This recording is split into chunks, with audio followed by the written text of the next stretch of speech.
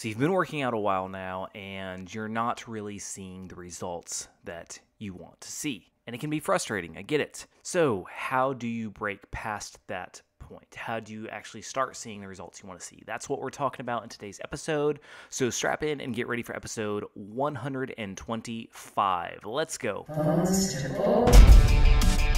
I've always been that skinny guy. Why can't I gain muscle mass? What do I do in the gym? They said I'd always be skinny. This is your complete source for how to gain lean muscle and break out of your skinny body. From nutrition to getting the most out of your workouts and everything in between. We know just how frustrating gaining muscle mass can be, but don't worry, we've got you covered. You're listening to the Bones to Bulk podcast.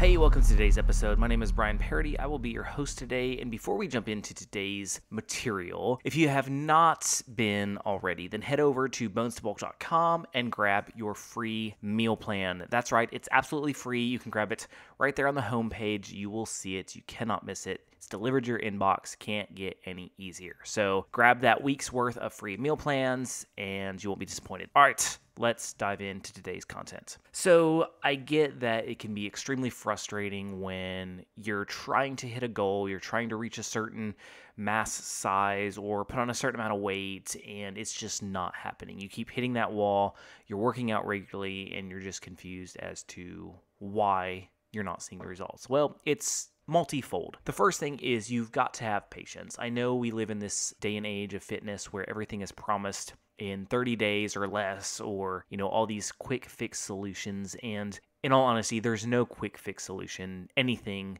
when it comes to your fitness goals. It takes time, it takes work, it takes sticking with it over the long haul. That's what truly brings results. You can ask anybody who's been at this for years and they'll tell you that it's still a process. They're still learning, they're still growing. It never really ends. It's not like you just magically get fit in 30 days, magically get fit in 60 days.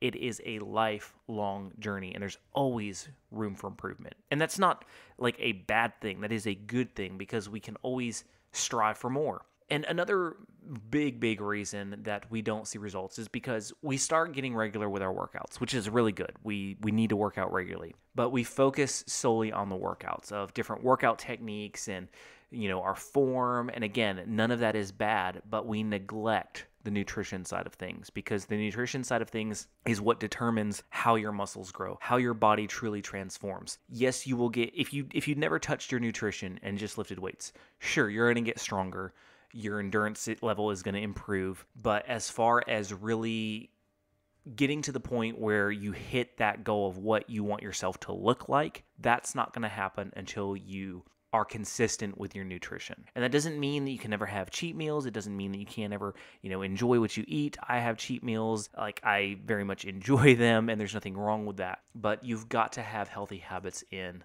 place. And it's baby steps. You can't just one day wake up and be like, I'm going to eat completely clean forever and then just never screw up again. It doesn't happen. So, for starters, if you have never tracked calories, you need to that may sound very tedious and very boring and like, oh, I don't want to have to, you know, figure all that stuff out. But we live in the day and age of amazing apps and you can literally download it to your phone and it keeps track of everything for you. All you have to do is click on what you ate and it tallies everything up. It tells you how many calories you've eaten, how much protein and fat and carbohydrates is broken into. Like it does all the work for you. It really can't be any easier. So go download an app. My Fitness Pal is a great one. Fitbit makes a good one, and you don't have to have a Fitbit for it. And you can track your calories. And the reason this is so important, it's not only to make sure that you're eating what you need to be eating. Because if you're eating clean and you're trying to gain muscle, you're trying to gain mass, it takes eating a lot of food. And it's easy to miscalculate how much we're eating. You know, we don't really measure and we're like, oh, that's about this many calories. And oh, it says that there's this many calories in a serving size. But what we don't realize is a serving size is way different than what we think the serving size is because nutrition labels can be a little bit deceiving. So it's really important to hone in on the exact amount you are eating because it's going to be eye opening. You're going to realize, like, whoa, I didn't realize there was this many calories in that, or this too few calories in that, or this much fat in that. And it really starts getting you in the habit of evaluating your food because that is important. And again, this isn't to micromanage and, and get tedious with your food. It's to, in order to get to the point you want to get to, you have to get into the details with it. You just have to. And aside from how much you eat, it's the content that you are eating. If you're hitting your calorie goal, but all you're doing is eating fast food all day, you're still not going to get to the point you want to get because your body basically takes what you give it and it does what it can. And if you're eating junk all the time, it can't do a lot with that food. Sure, it might sustain you for a while, but it's A, going to lead to health problems down the road. Uh, B, probably make you feel like crap. And C, it's not going to benefit your muscle growth and development. Because if you're eating something that's high in fats and bad starchy carbohydrates, that's going to turn just immediately to sugar, then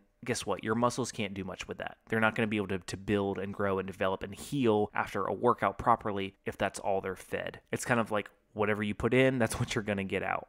And you really have to hone in on the nutrition side. So, how do you do that? Like, how do you start making steps to eat better? Again, it doesn't have to be an overnight process. It doesn't have to be this quick, one time, throw away everything in the house, go buy everything organic and all that. It doesn't have to be crazy like that. Start small. Start eliminating one thing at a time that you know is unhealthy. And once you have that nailed down, add something else to the list. And once that's kind of easy for you, add something else. And it's this slow stair step until you start making progress. And you'll be able to look back and be like, wow, I've given up all these things over the past year. And you're going to see that you not only are starting to develop what you want to develop muscular wise, but you're going to feel better. You're going to feel that sense of accomplishment. You're going to just have more energy and things are going to improve for you. Now, kind of going back to working out and the gym experience with this, it is important and I don't want to try to make it like it's not. But the problem we run into again in the gym is we focus on the wrong things sometimes. We focus on just maxing out on an exercise which don't get me wrong, that that's a good goal to have. It's good to have goals for what you want to hit for the year and how much you want to lift, and I have those, and those are good things to have. But if all we did was go in the gym and try to get one rep maxes every single time, we would be doing ourselves a disservice because you're putting all this energy into this one rep rather than increasing your time under tension and increasing the strain that your muscles are under. So, while that has its place and you should go for those goals sometimes, you also need to make sure that you're having the days where you're going high reps and getting in a long workout and doing 10, 15, 20 reps of four sets and getting that long term strain on your muscles. So, it's not just about the heavy weight because the way you get to the heavy weight is by doing that. It's kind of like the same with food. You know, you have to baby step it. It's the same way with working out. You have to baby step up. You can't just immediately jump up to this insane weight because usually that's going to lead to injury or strain or burnout, and you're not going to want to go back because you're going to be so sore. So, again, take it slow, slowly build it up, and those baby steps are key. The second thing with your workouts is really focusing on what you're doing it's easy to go in and just kind of brainlessly do some exercises that we're familiar with, but you need to be learning new exercises. You need to be trying new things. You need to be, you know, watch other people in the gym, watch people who seem like they know what they're doing, who are in good shape, and maybe try doing some of the things they're doing. Maybe go up and talk to them and ask them, like, hey, what do you do for this muscle group? Most people are more than willing to share their knowledge with you. They love, I mean, usually people who are in really good shape who are in the gym, they love talking about that stuff. They just love doing it. So don't be afraid to go up and ask for help, ask for advice. I did that a lot when I started off. And